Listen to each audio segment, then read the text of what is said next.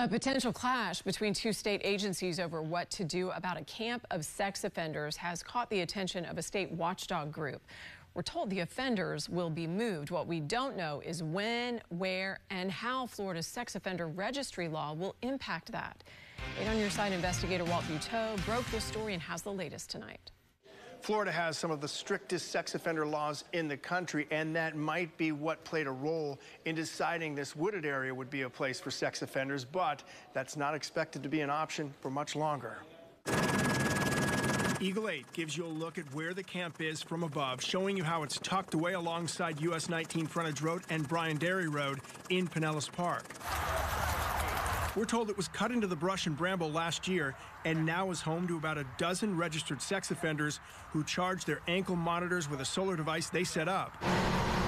Home and business owners nearby say they were not alerted about who lives here, even though several offenders claim their probation officers sent them to this location. So yes.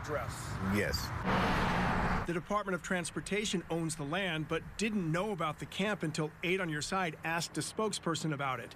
She says the residents will be moved, but she did not know when or where. One of the offenders who lives here tells us the sheriff's office in Pinellas County has been here since our story, and he says so has the Department of Transportation.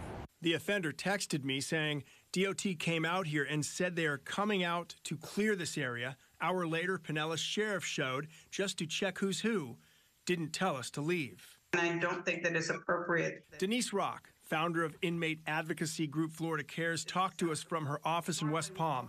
She says countless other offenders claim they were sent to live in the woods in other parts of the state, which may violate the Department of Corrections rules. Rock is one of many who will be watching what happens next in Pinellas Park.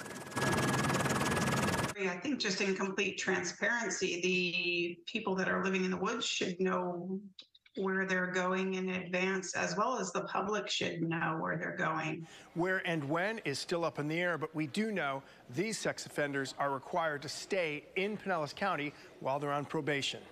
In the Tampa News Center, Walt Buteau, 8 on your side.